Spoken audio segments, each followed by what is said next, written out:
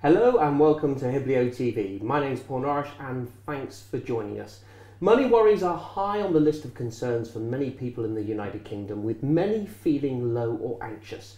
Today we talk to Deborah Gidman about her tips to help you feel better and more in control. Welcome. Thank you. Very topical topic this week. A lot's been in the news about money worries. Yes, definitely. It's high on the, the agenda. January is always a time when people are feeling that pinch when it comes to money. So, if you could just start, Deborah, thanks very much for coming in. Tell us a bit about yourself and the organisation that you work from, because you come from a credit union, and That's a lot right. of people out there might not know what a credit union does. So, a bit more about that would be great. Okay, so a credit union is uh, a savings and loans provider in a nutshell. Uh, we work in the community, and that's what Plough and Share does. Uh, we work within Devon.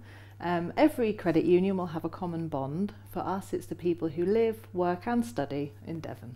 Fantastic. So, just starting our conversation, worrying about money can can have a serious impact on people's health. That's right. And uh, what what kind of symptoms might be showing through that? Okay, so they'll be suffering from uh, anxiety. So they may um, may be struggling to cope uh, with their work, maybe at home, more arguments perhaps, struggling to pay attention to things because actually their mind's on other, you know, the, the worries that are going through associated with paying bills or any any financial worry. So we're talking there about things like sleep problems. Mm. I might be losing my temper more frequently, Absolutely. swinging off the handle a bit quicker than normal, trouble relaxing, or, Mm. or, um, and maybe having negative or unhelpful thoughts. yes, Because definitely. for some people, I can imagine having uh, these kind of worries Mm. that it just feels like that little lead ball above your head just gets Yeah. bigger and bigger. Yes, and when you feel like that, sometimes, um, especially if you're coping on your own and you don't feel that you can speak to anybody, it does feel that it's just a weight with you constantly, and there's no let up from that. Mm. So that increases the feeling of an- anxiety. And, and and we know, you know, as people and I can talk about our own example, my own example is, you know, that actually I almost lead two lives. You know, I've got my work life and I've got my home life, and I can Mm. imagine with money worries, and I, you know, I haven't been there, but I, I can imagine with money worries that actually that most probably travels from home into my work as well, and and as you say, can make it very difficult. It does, and it's it's wrong to say that we can leave our problems at, at our work doorstep. We take them with us. So if you're if you're doing a particularly a manual job perhaps, and you haven't had a good night's sleep because you're worrying about it, that is going to impact your work. Perhaps you're going to have more time off sick Mm. um, because of the anxiety created. There are lots of problems in being able to concentrate at work, and we all want to go to work and do the best we can when we're there. But if you are struggling because you've got money worries, that's going to come with you. But we're going to come on to your tips. Uh, it talks about life hopefully getting better, and we're Mhm. going to talk about the help Yes. that people can reach out for. But um, just just going back slightly, you know, I imagine it must be quite tempting. Uh, and you hear it, and it's been, you know, in, in some of the soaps on TV where this topic's been covered, Mm. that that envelope arrives through the door, and you often see it put on the kitchen worktop Yeah. or straight in the trash can. Is it too tempting for people to push away? Yes, it is. Um, when problems become that stressful, uh, especially money, um, we need it for everyday things. Um, it is tempting just to put that envelope underneath the carpet, to ignore it, don't open it. We put it somewhere and Mm. close that book. We don't have to look at it anymore, and it's not there in front of us. That doesn't actually take the problem away, and another envelope is going to follow. So there is no way of hiding from it. Mm. Eventually, you are going to have to open that envelope up. And it is opening that envelope, as you say. When we think about debt, and we're coming on to the help where people can get help, do do they, um, you know, these series of envelopes coming through the door, do do when do people get bogged down with it and uh, and push it away, as we say, and don't actually accept that actually it's happening to them? Yes, and it's it it is stressful. You know, if you if you're constantly being bombarded by um, lots of different companies or lots of different organisations that want to get in touch with you because you, you can't pay your bills or, or you've missed a payment, yes, people will eventually start to feel absolutely weighted down by that. So we're coming on to talk about your tips, Mhm. you know, for and as I remember my nan and even my father calling father there, no, had a metal tin, you know, and, and my nan always used to say, if you've got the money, create a budget and stick to that. Right. Was she right with her wisdom? Where, where, Yes, yes, absolutely. Budgets, that's where you begin. Even if you've got, um, if you feel that you can't actually um, pay for, you know, all your bills at the end of the month, if you, ha- if you actually have a budget, you know what's coming into Mm. your house, all the money that's coming in, and you know what you have to pay out, then you've got beginning of control. So that's the first thing you do. Know what you're paying out, know what's coming in. So that's your first part of control. yeah. And, and the next best tip after that is don't forget all those tiny things. We always buy people birthday presents and cards, Yes. but often we don't budget for that. So make sure that you're including all the, the one offs that you have. Maybe um, Christmas is a big one. Yes. That's not a one off, everybody does it every year. So saving for that, making sure you're putting that little bit of money aside for it, takes away the stress of a massive bill at the end of the, of the year or the end of the month. I'm surprised you never mentioned jam jars because you've got a you've got a thing for jam jars, haven't you? I but do. what we were saying there is do budget that because we've all got calendars in our kitchens Yes. with key dates. Yes. Have you got a calendar in your I kitchen? do, okay, so everyone's got the calendar in the kitchen with a key date, so they know what's coming up. Yeah. What you're saying is we should be looking at that and trying. And I know we might cover this in a future show. Uh, uh, planning for that in Yeah. advance. Yes, so I do love jam jars. Jam jars um, are a physical, a physical object you can see your money going into. When I do my shopping, this is very personal for me, but when I do my shopping, I've got my weekly budget and I stick to it rigidly. So I know what's, uh, what money I have to spend. I create a list, I plan my meals, and that enables me to know that any money I've got left at the end of my housekeeping, I can pop in the jam jar, and those are for the treats that I want to buy Mhm. you know, maybe ice cream, maybe chocolate. You know, those are the kind of things that allow us to to budget, and that's what the jam jar is there for. But you can use it for more than just. The image that we had associated with today's program was Mm. the, the piggy bank that we all recognise with a hammer looming over it. Mhm. And that must be all too easy then, just to reach for that jam jar Yeah. because something else has happened that you haven't got on your calendar list and you raid that. But that's what it's there for. So that rainy day idea that you put a little bit of money away for a rainy day or, or something unexpected happens, that's what that jam jar is there for. So you can open the jar, tip the money out, and you've got some extra money that you've put by. It might be a small amount to begin Mm. with, but once you get used to budgeting, you find that you're able to put money in. And as you see it grow, Mm. you feel better about that. That's a really good feeling. And you're able to take the money when you need it. And I'm, uh, you know, we, we talk and you're very organised there, it sounds like, when you're going around the supermarkets and not being tempted by all the offers, you know. Mm. And that's very difficult, It isn't it? is, It is yes. very difficult. But I imagine, you know, with, with the debt that goes on, you may have been leading a certain kind of lifestyle. Mm. you know and it's that recognition that actually you're going to have to step back away from that Yeah, and that's it's it's very difficult if you're used to leading a certain lifestyle and you're buying what you want when you want it. When you sort out a budget for yourself, when you have to step away from that type of lifestyle, you then it can feel like a grieving process. So you have to take time to consider consider that for yourself and not be hard on yourself. I think that's really important. Don't be hard on the fact that you have to have a budget in place. It might be temporary.